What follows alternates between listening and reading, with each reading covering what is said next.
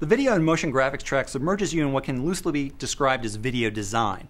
If you're the type of person who can sit for hours perfecting an animation or a video effect, this is likely the track for you. You'll start by learning some basic non-perishable skills like writing, drawing, and typographical design.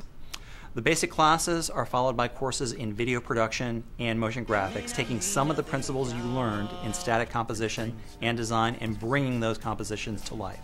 You'll create animations and video effects for television and the web. This track features a lot of work done in the software programs found in the Adobe Creative Suite and Apple's Final Cut Pro Studio Suite. There's also an exploration into true 3D graphic programs and interactive graphics programs. This specialization features a lot of computer work and a decent amount of camera and lighting work. It will prepare you to take certain jobs on in animation, multimedia artistry, and video production. Now, if you think you might be more interested in video production, especially production for live events, then click this link to see a short video on our live event video production specialization.